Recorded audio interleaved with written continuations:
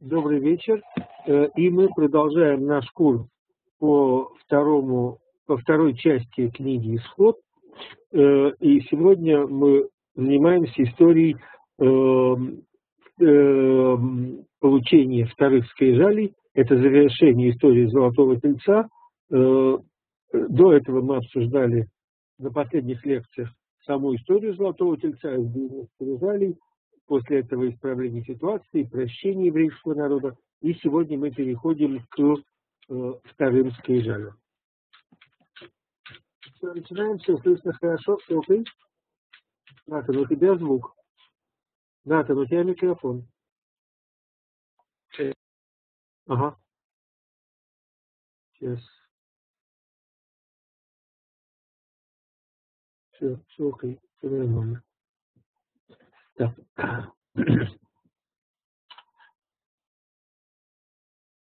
А, итак, значит, перед тем, как Всевышний дает евреям вторые скрижали, э, есть некоторый э, отрывок довольно странный. Э, этот отрывок перед нами на экране.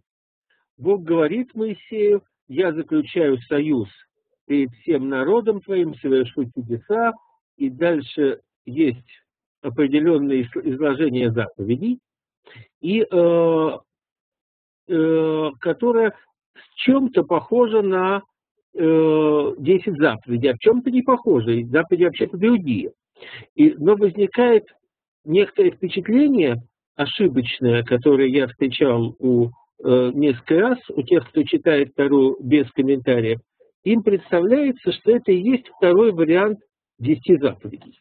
На самом деле это, конечно, не так.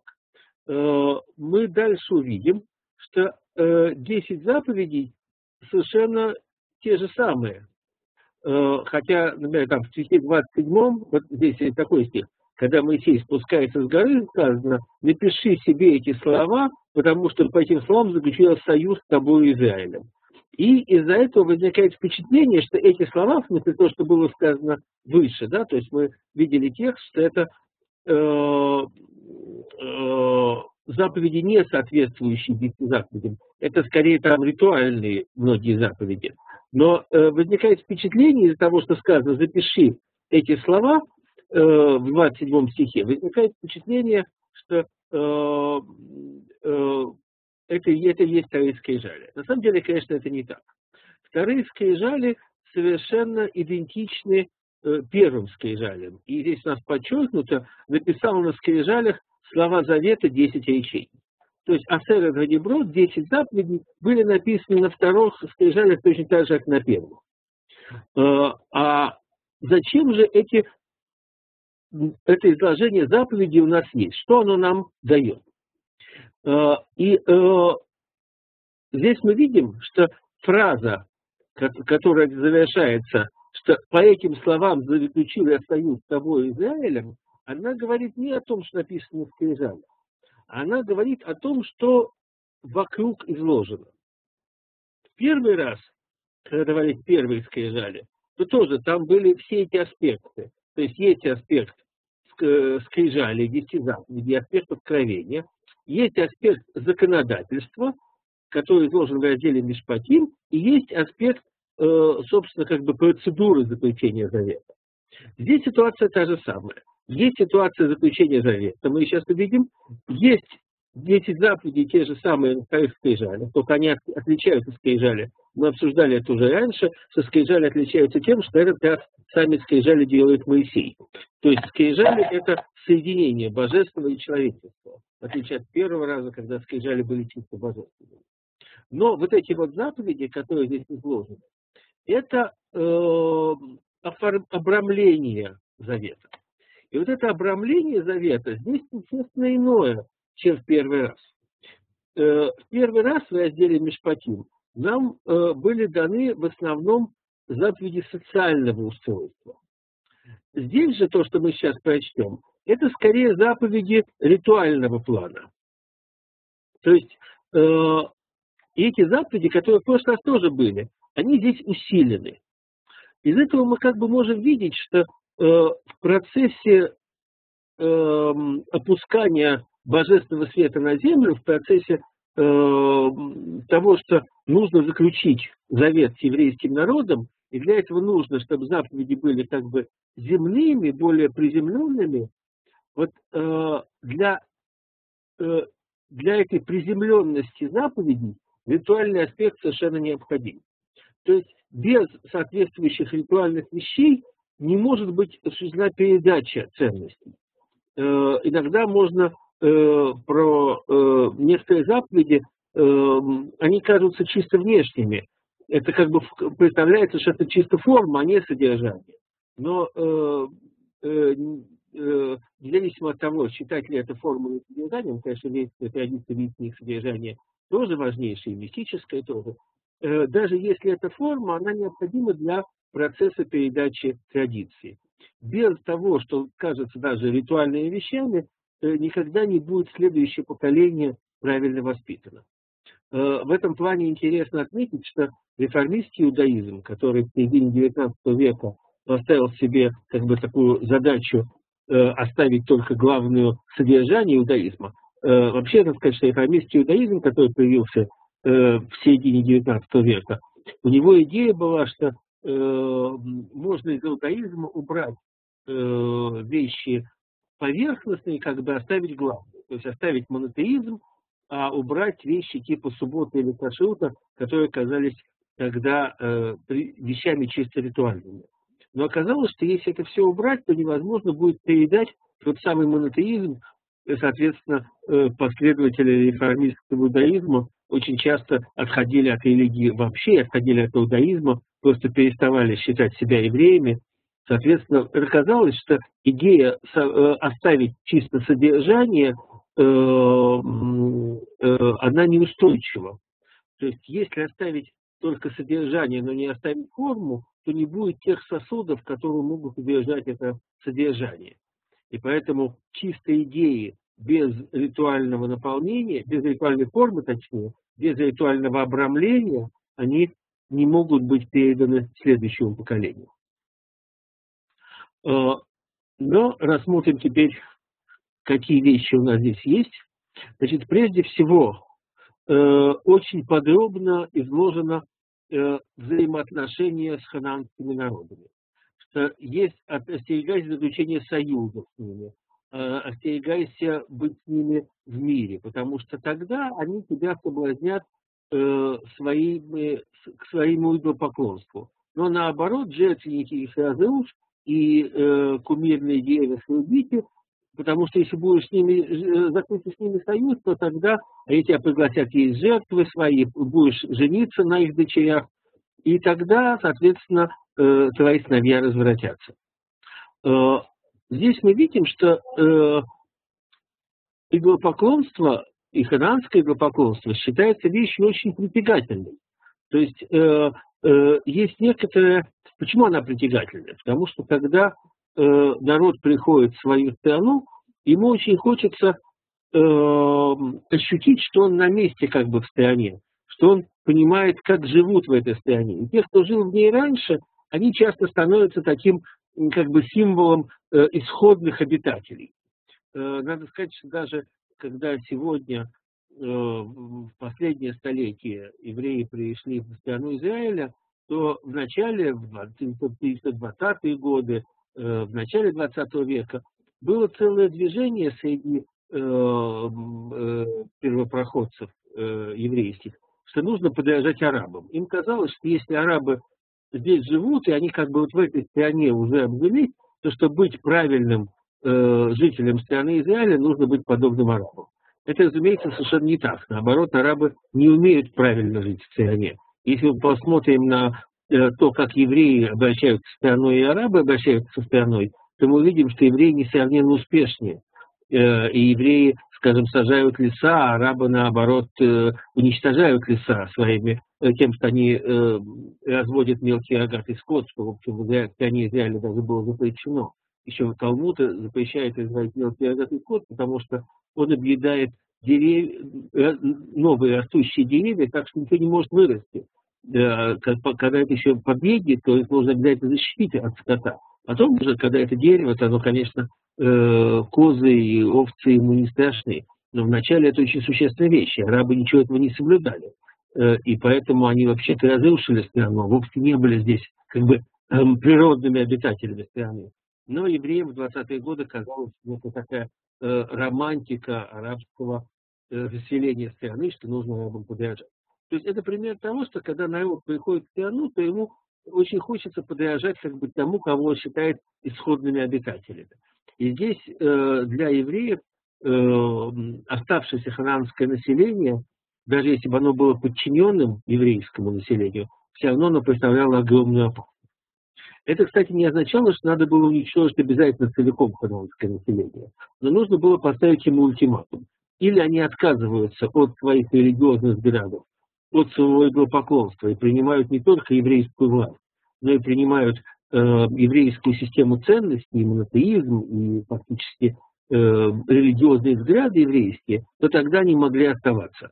И мы знаем из истории, что были такие, кто оставались, там, например, Руд, э, например, Рахав э, из Иерихона, или целый, целый народ диванитяне, но это все-таки были маленький народ, тогда в стране Израиля было много маленьких народов, в каждом городе фактически был как бы свой народ, как это очень там, часто встречается в горной области, когда каждая большая деревня несколько отличается в национальном плане от соседней даже. Вот. Но это было только маленькая часть страны, а с остальными пришлось воевать. Э, но вот именно эта опасность э, того, что евреи будут перенимать канадские обычаи, из-за этого, соответственно, э, запрещено с ними заключать союз и оставлять их в стране. И дальше здесь есть много вещей про праздники, праздник мацы соблюдай и выкуп первенцев. То есть многие вещи, которые, там, которые кажутся расширением как бы десяти заповедей. Есть про субботу, в которой есть десять заповедей, но в десяти заповедях нет про праздники, а здесь они есть. И про Песах, и про Шивот, как мы видим, есть 22 стих, и, соответственно, э, э, о том, что три раза в году являться в храм. Э, то есть ритуальным вещам уделено здесь существенно большее место, чем раньше, и мы сказали, что это важно очень для сохранения э, традиции, но в частности здесь же известная фраза, что не вари козленку в молоке матери, на которой потом основаны э, законы молока и, и, и мяса, разделение молока и мяса. То есть э, итог здесь главный такой, что 10 вторые скрижали, они более человечески обыденные. И сами скрижали более человечески обыденные, которые сделаны в сотрудничестве Бога и Моисея. И э, обрамление их более э, как бы законы ритуала, которые важны для передачи. И все это, дело, все это несколько приземляет вторые скрижали, с одной стороны, а с другой стороны, именно это дает им возможность оставаться некой реальной э, силой, не разбиться и реально построить по ним жизнь народа. Вопросы? Вопросы?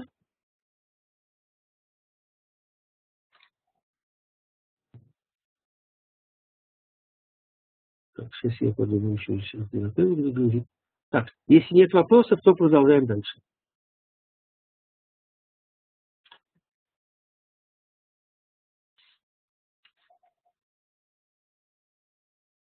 Uh...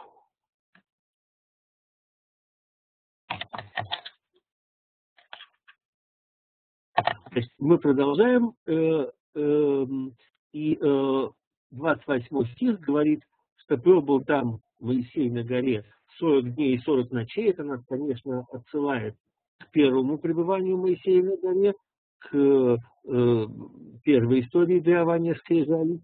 И дальше особая вещь, которая не было при первых скрижалях, и было, когда мы исходил Моисей из горы Синай, и обе скрижали откровения в его руке, то Маше не знал, что стало лучами сиять его лицо. Вот это вот э, вещь, э, кстати, откуда э, вы, наверное, слышали, опять-таки, что слово «лучами сиять» – это слово «керен» на иврите, как слово «рог». Рог и луч – одно и то же слово, и из-за этого в латинском переводе было переведено так, что стало э, как бы э, рога появились у Моисея, и, соответственно, из-за этого э, известный Микеланджеловский Моисей, который с рогами изображен, с такими. Вот. Но, э, конечно, здесь просто ошибка перевода, никакого отношения к рогам это не имеет, а просто слово «керен» э, означает и рога, и лучи.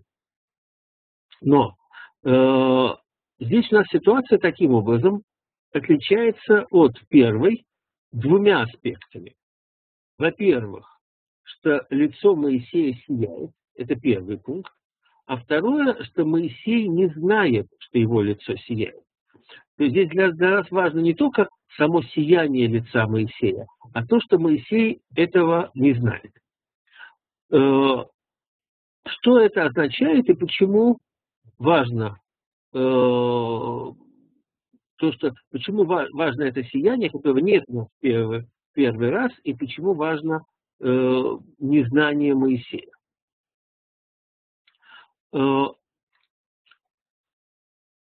наверное, прежде всего, э, то, что Моисей сияет, является то, что Моисей сам становится источником Тары.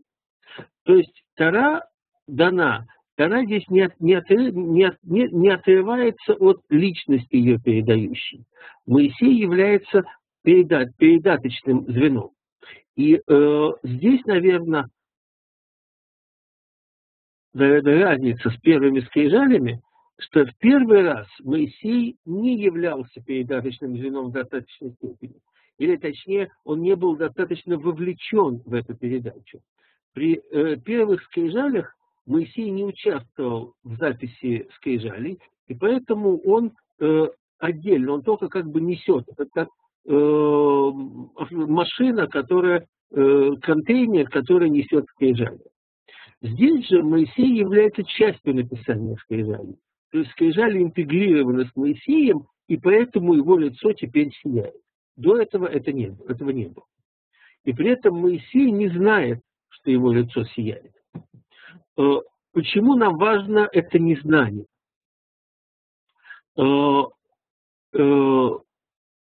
Что такое, что значит он не знает? То есть он приписывает сияние самим скрижалям сияние, которое от него распространяется, он приписывает это тому, что он несет скрижали, но не своей личности. И здесь в этом выражается э, чувство э, э, некой, э, я бы сказал, э, битуль от СМИ, как это перевести э, на русский, некого э, самоуничижения Моисея, да? Самоаннулирование. Как? Самоаннулирование.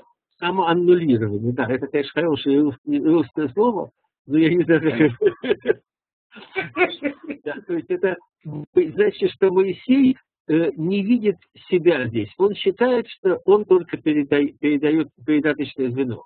И вот эти оба аспекта важны. То есть важно, что он часть Тары, и важно также, что он это не осознает. То есть вот это осознание себя как части, э, оно потом приходит к Моисею. То есть э, позже Моисей начинает себя так осознавать в процессе передачи Тары, э, передачи Тары народу. Но первоначальная эта вещь, она ему не открыта. То есть, иными словами, развитие Моисея самого в, в дальнейшем происходит в направлении того, что он осознает – что Тара, которая вначале он читал, что она чисто божественная, чисто свыше, и вначале, когда он нес первые скрижали, он совершенно даже не осознавал, э, что он должен участвовать. И здесь он еще не осознает своего участия. И только постепенно он понимает, что э, на самом деле передача божественного света не может пройти без человека. Э, что э, то, что он сам является источником свечения, что его лицо светится, это некая необходимая часть. Он приходит к этому фактически в конце жизни, когда он э, произносит книгу Дворим, Второзаконие, которая является речью Моисея, а э, как бы по собственной инициативе он ее говорит, но при этом она является дальше неотъемлемой частью Тары. Как бы Бог повелевает записать э, то есть, как бы Бог повелевает записать речь Моисея вторую. тем самым э, как бы легитимизируя ее как божественное откровение. Хотя, конечно, она является прямой речью Моисея. Вот э, этот переход, вот этот вот переход Моисея от установки, что он только передаточное звено, к установке, что он на самом деле э, э, активный участник процесса передачи Тары, это развитие Моисея от этого момента к дальнейшему. Э, но здесь, это будет потом, это дальнейшее развитие. А здесь происходит то, что э, свечение лица Моисея вызывает кризис. И мы читаем в 30 стихе, и Аарон и все сыны Израиля увидели Маше, и вот лицо его сияет, и боялись подойти к нему. Э, интересно отметить, что э, здесь указан Аарон, например, да, но не указан Яшуа. То есть э, нет указания, что Яшуа боится подойти к Моисею. Э, видимо, Яшуа не боится подойти к Моисею. Вообще, во вторых скрижалях роль Яшуа менее проявлена, чем в первых, особенно когда Моисей спускается, как бы проблема уже такая решена, э, но Яшуа занимает совершенно особое здесь положение. И э, мы обсуждали, наверное, уже, или дальше еще, еще раз обсудим, что есть дальше две передачи учения Тары. Что есть передача, и она записана в Талмуде, в разных местах Талмуда, есть два разных описания. Есть вот известное описание э, в а вот, и в другом месте в Гемаре есть описание. В одном описании Маше передает Тару Яшуа, а в другом описании Маше передает Тару Аарону, его сыновьям, священникам и дальше. И здесь вот эти две линии э, передачи э, э, это два разных прочтения Тары, что ли. Это Тара как Галаха и Тара как текст. Но это особая тема, которую мы, наверное, обсудим в дальнейшем. Мы сейчас не будем в нее сейчас влезать, она слишком сложная для нас сейчас. Но потом обсудим. Итак, вернемся мы к стиху 30. А Аарон и все сыны Израиля увидели Моисея, и вот лицо его сияет, и боялись подойти. То есть э, для Аарона статус Моисея, который здесь появляется, он тоже ненормальный. Э, мы помним, что э, до этого а, народ боится подойти к Синаю, он боится откровения Бога, и здесь Моисей как бы близок к откровению. То, что вид Моисея столь близок к откровению, соответственно, народ пугает. Но дальше мы видим, у нас текст такой, «И призвал их Маше, и вернулись к нему Аарон и глава общины». То есть Моисей, как э, э, аналогично тому, как Бог призывает Моисея войти в, войти на гору Синай, помним, что когда мы читали, что Моисей поднимается на гору, но не сразу может войти. Он там ждет семь дней, и только потом входит в облако, как мы читали при первом э, даровании первых сказали, первом поднятии Моисея на гору. Или дальше мы видим в книге Вайкра тоже ситуацию, когда э, Бог приглашает Моисея войти в шатер откровения, и только тогда Моисей может войти. Но, но э, здесь также Моисей логично этому приглашает Аарона и народ. Э, и Моисей с ними разговаривает, и второй затем подходит сыны Израилева, он им пересказывает, и дальше, 33 стих, очень важный для нас. И когда кончил Моисей говорить, э, с ними он наложил на лицо свое покрывало. И здесь у нас возникает новая, очень важная тема, вот это покрывало, которое есть на Моисее, оно, э, то есть Моисей покрывает лицо, потому что от него распространяется свет. И э, нам говорится здесь следующее когда приходил 34 стих, когда приходит Моисей перед лицо Господа, чтобы говорить с ним, то он снимает покрывало, разговаривает со Всевышним. Снимает, пока не выходил. Значит, когда он выходит, он опять закрывает лицо покрывало. Дальше. Выйдя, он пересказывается нам, Израиля, то, что ему заповедано. и видели сыны Израиля лицо Маше, как его лицо сияет. И опять накрывал Маше свое лицо э, после разговора с, народ, с народом или после того, как его обучал, пока опять не входил для беседы со Всевышним. То есть итог у нас следующий. Моисей э, снимает покрывало со своего лица только когда он занимается Тарой, когда он занимается учением. То есть или когда он воспринимает от Бога, он снимает покрывало, и э, его лицо открыто, затем он закрывает лицо, выходит, закрывает лицо, когда сыны Израиля приходят с ним обсудить, он опять снимает покрывало и видит сына Израиля, что лицо Маше, что видит лицо Маше и кожа лица его сияет, а затем, после окончания обучения, он опять закрывает свое лицо покрывалом, пока не входит обратно ко Всевышнему. То есть в итоге лицо Моисея открыто или когда он воспринимает Тару от Бога, или когда он обучает Таре еврейский народ. Все остальное э, время лицо Моисея закрыто. И это важнейший, принципиальный совершенно момент для всего дальнейшего развития. Что такое открытость лица и закрытость? Здесь, кстати, э, вопрос, почему Маша вообще закрывает лицо? Ведь он закрывает его здесь дальше не потому, что народ боится, наоборот. Когда он разговаривает с народом, когда он его учит, покрывало снято. И поэтому видели 35 стих, видели сыны Израиля лицо Маше, как вот когда он их учит. Но когда он заканчивает их учить, он опять открывает, э, закрывает свое лицо. То есть проблема закрытия лица – это не проблема того, что народ боится. Наоборот, когда он изучает народ народом, он лицо открывает. Проблема сокрытия лица – это проблема того, что Моисей занят только и исключительно изучением Торы. Он закрыт на все остальное. Он закрыт на все общение с окружающим миром, кроме получения Тары и преподавания Тары. И э, вначале это было, наверное, очень сущностно важно. Вначале это позволяло подчеркнуть, сколь важно изучение Тары. Вначале народ видел, что Моисей не интересует окружающие, э, окружающие вещи. Его интересует только передача учения. И это было некоторой э, правильное, наверное, правильное воспитание еврейского народа. То есть народ воспитывался, увидел, сколь важна Тара, сколь важно учение, которое Моисей передает. Э, но дальше именно это стало источником проблем. Потому что это означало, что во всей дальнейшей жизни Моисей не контактирует с народом. Он не знает, что происходит. Он не видит окружающего мира он занимается только специфической учебой.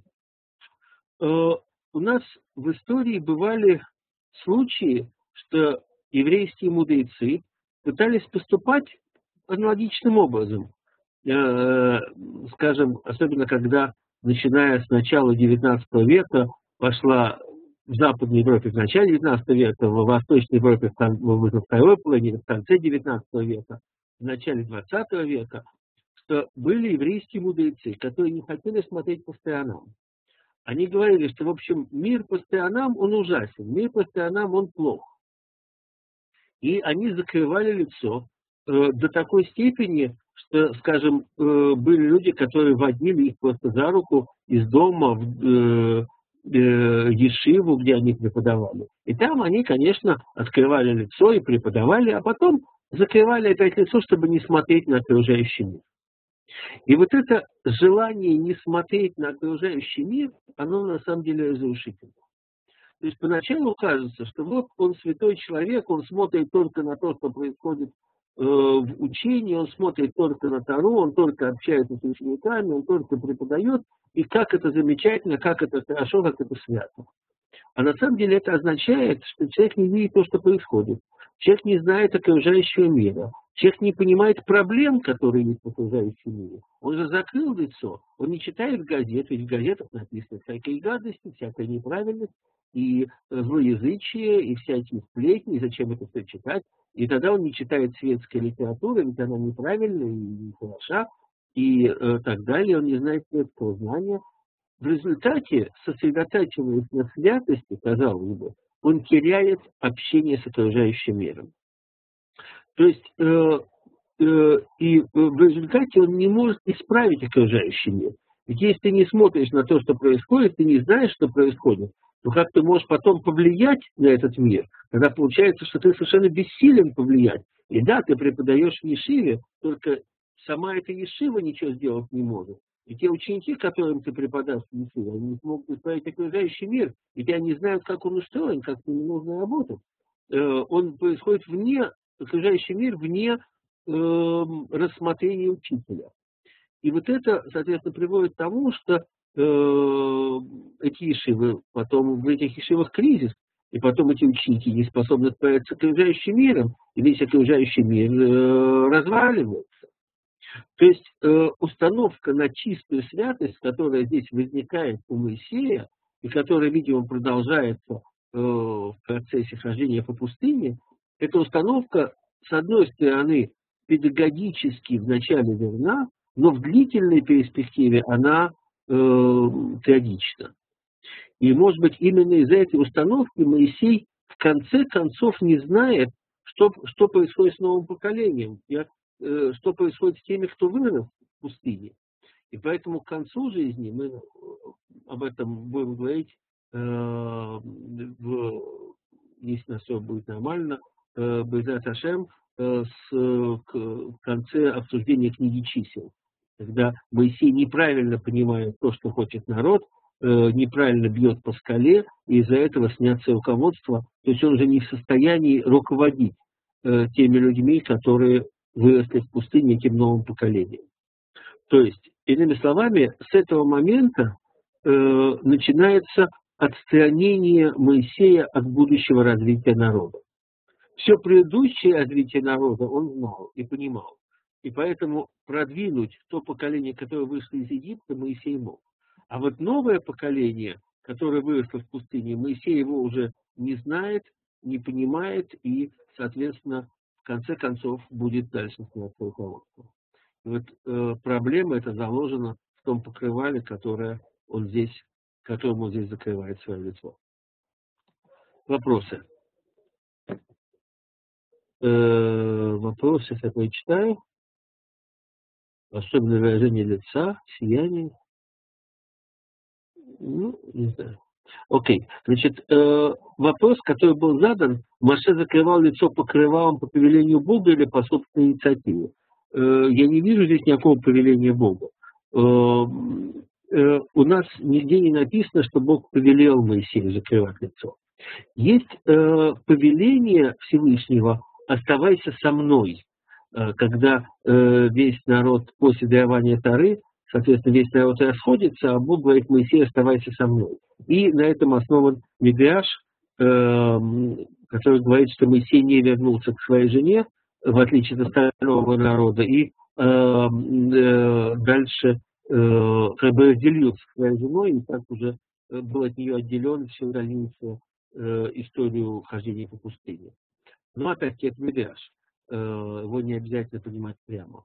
Э, но никакого божественного повеления закрывания лица не видим. Вопросы?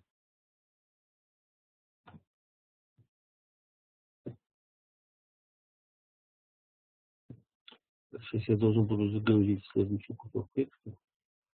Я это не сделал, к сожалению.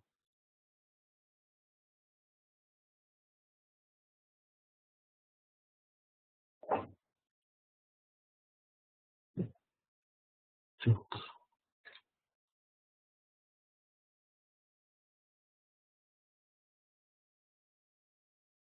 Так, пока что можно подумать над вопросами.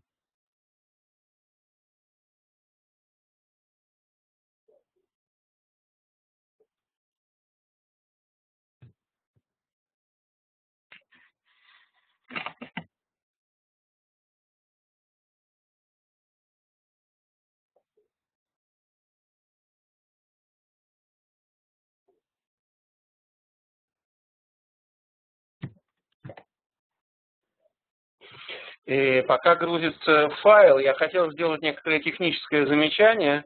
На следующий, обращаю ваше внимание, что на следующей неделе есть две лекции э, Пинхаса Полонского. Одна, э, как обычно, как сегодня, через неделю, то есть день помеши четверг. Вот. А есть дополнительная лекция, которая будет э, в, э, во вторник, соответственно, э, 18 числа, в Йом Швиши, э, тоже в 7 часов. И ссылка на ней, ссылка на эту лекцию э, находится уже на странице курса. Угу. Сейчас.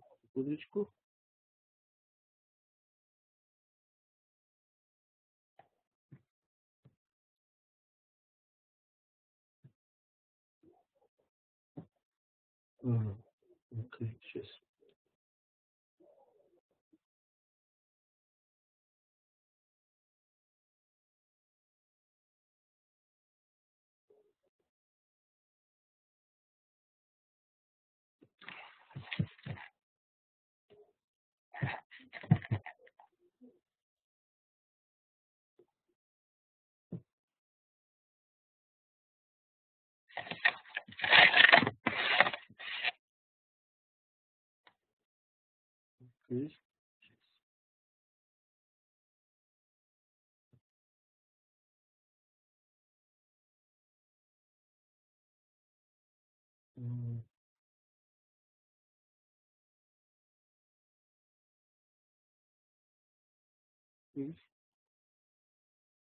Так, вот следующий наш файл. Во вторник лекция на час раньше? Нет, Натан. Разве во вторник в 7 часов?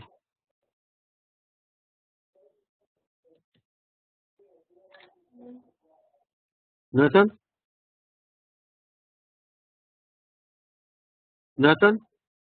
Да, секунду, правильно было отмечено. Э, во вторник лекция на час раньше. Почему? Потому что за ней следует э, лекция э, Давида Капелевича. Поэтому действительно не 8, как обычно, а в 7 и не в четверг, а как это называется, во вторник. Во вторник, да. Но это не отменяет лекции четверг. Другого будет само по себе. Так, Окей. продолжим. Итак, значит, мы перешли к разделу Ваягель. Мы закончили раздел Титиса, перешли к разделу Ваягель, что после э, того, как Моисей спускается с горы, он э, осуществляет строительство скинии. И это начинается с того, что собрал Моисей все общество сынов Израилевых, и первое, что он им дает, первую заповедь, которую он им дает, это заповедь о субботе. Э, заповедь о субботе предваряет э, построение храма, э, поскольку само строительство надо было прекращать на субботу. Вообще мы говорили уже о том, что есть э, два аспекта святости, особой святости. Это аспект особой святости места, которое реализуется в храме, и аспект особой святости времени, который реализуется в субботе. И эти два аспекта нужно соединять. Э, при этом, поскольку э, еврейский народ долго очень, 2000 лет почти что, вот, э, там, через, сколько, через 50 лет, да, через сколько у нас исполнится 2000 лет отсутствия храма. Интересно, дойдет ли до этого времени, или мы построим храм раньше, чем пройдет ровно 2000 лет с его разрушения. Вот. Но, э, значит, как бы то ни было, евреи привыкли за такое длительное время жить без храма.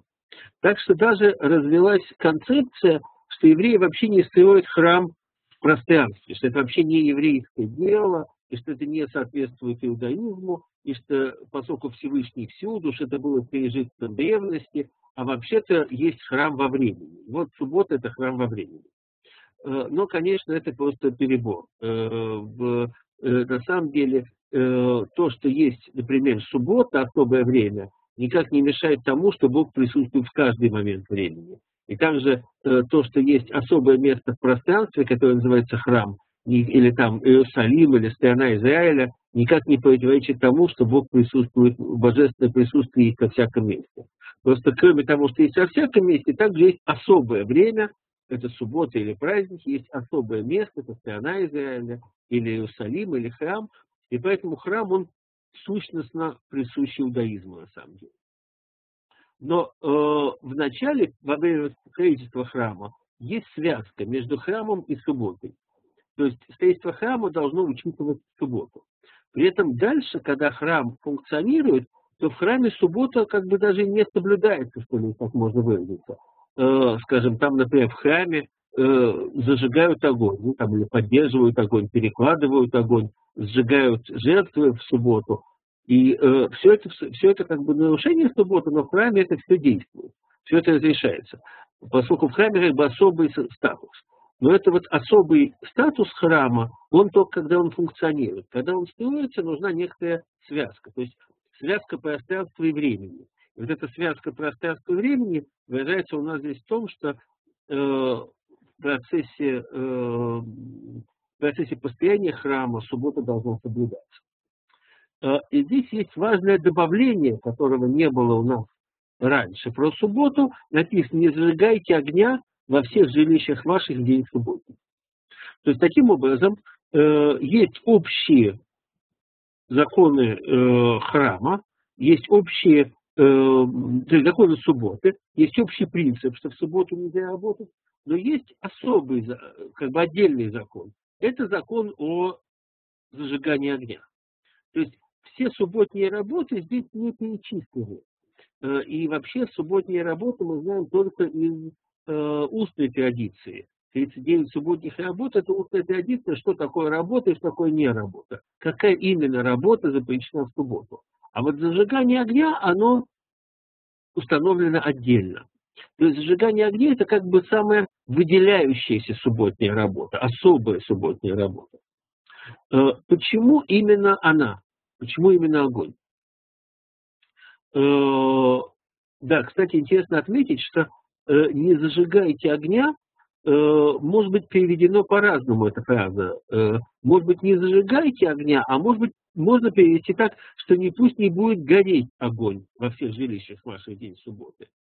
И из-за этого э, караимы, скажем, э, решили, которые читали Тару чисто по буквальному тексту, решили, что вообще в субботу не должен гореть огонь. Поэтому они, соответственно, в субботу сидят в темноте и не с холодной едой. А вот Устная традиция объясняет там совершенно по-другому, что наоборот, нельзя зажигать огня в саму субботу, но можно, чтобы огонь был зажжен раньше.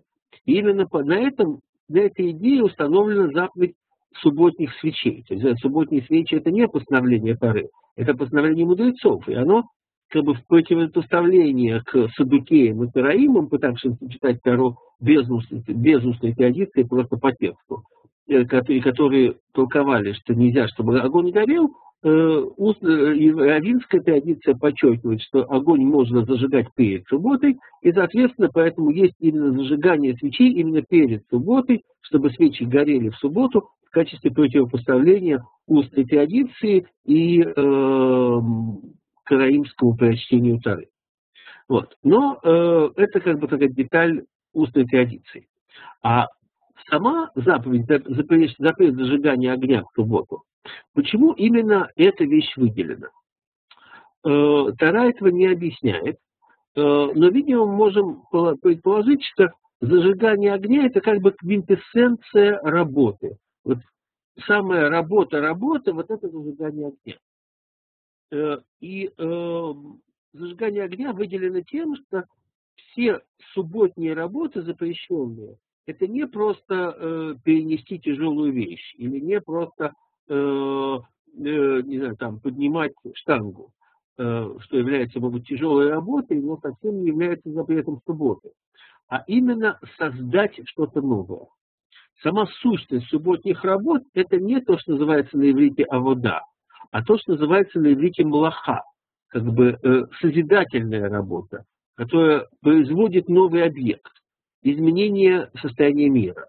Э, поднимание штанги могут изменять самого человека, Э, в смысле его, так сказать, э, физической тренировки, но не является изменением мира. И, а суть субботних запретов – это изменение мира. И в вопросе изменения мира огонь – это самая сильная вещь, которая есть у человека. Если мы вспомним Маугли, то э, как человек отличается от животных тем, что все животные от огня бегут, а человек от огня не бежит. Это, разумеется, э, значит, э, действительно э, сущностная разница между человеком и животными. Человек может владеть огнем. И вот через это владение огнем человек, собственно, изменил мир. Э, через владение огнем э, были созданы металлы. Э, через владение огнем были созданы инструменты человека. И вот это вот владение инструментами, оно неотделимо от, от владения огнем. И поэтому огонь это и есть самое, что не как бы работа по производству новых объектов. И поэтому огню такое внимание. И здесь интересно отметить, что понятие огня э, изменялось в истории. Что такое огонь? С точки зрения химии огонь это окислительная реакция. А вот с точки зрения э, Тары или Галахи огонь совершенно не обязательно эта вещь. Э, например, э, электричество. Электричество началось с ламп, дуговых ламп, э, которые явно были огнем. То есть в них прям вот эта искра горела. И поэтому было решено э, в XIX веке, куда я помню, 19 века, когда только появились электрические лампы, было решено, что лампа приравнена к огню. А, а потом появились лампы накаливания, в которых э, раскаленная нить. И никакой реакции окисления не происходит, понятно. Если бы она происходила, то нить тоже сгорела бы. Э, и тем не менее, она тоже была объявлена огнем. То есть э, определение огня было как бы пересмотрено. Э, что огонь это то, что яркое и э, то есть горячее светится. Вот если горячее светится, то это огонь, как бы светится потому, что горячее. Э, но потом у нас стали появляться другие виды электрические вещи. Ну, например, скажем, э, лампы дневного света. Там не, нет такого горячего объекта. Или например, там лампы на диодах, там вообще никакого горячего нет, так светится. Э, но есть вещи, где и свечения нет, скажем, вся электрическая аппаратура современная, все компьютеры, в них электричество работает, но ничего не искрит. Понятно, что если в компьютере искрит, то компьютер нужно срочно в ремонт нести, или он э, э, сгорит в ближайшее время. То есть никаких искр не проскакивает. Э, и тем не менее, все это было зачислено под огонь. И поэтому э, все направления совершенно ортодоксального иудаизма, все согласны, что нельзя пользоваться в субботу вот такой вот электроникой, которая, которую мы включаем и выключаем э, электричество. И э, хотя это совершенно далеко ушло от огня, и, в общем-то, конечно, не может быть приравнено к огню, и, конечно, свечение экрана компьютера этим огнем не является, э, но в этом есть некий очень важный смысл. Смысл состоит в том, что э, электричество и вот эти э, компьютерные системы, это и есть, в общем-то, огонь современной цивилизации. Это и есть то, что позволяет нам властвовать над миром. Самая сильная власть сегодня над миром – это электроника, электричество, и через нее делается все управление и создание. И поэтому то, что эти вещи все создающие новые, что они все были приравнены к огню и были запрещены в субботу, в этом есть очень правильная сущностная логика, хотя формально, конечно, ничего из них огнем не является. Ну вот я думаю, что это все, на этом мы здесь остановимся сегодня и продолжим в следующий раз. Э, у меня есть некоторое техническое замечание, опять же.